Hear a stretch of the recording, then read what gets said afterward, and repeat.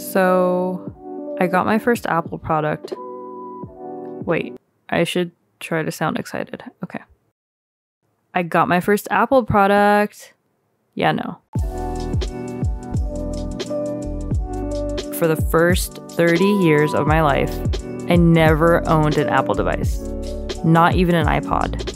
And then one day, that changed.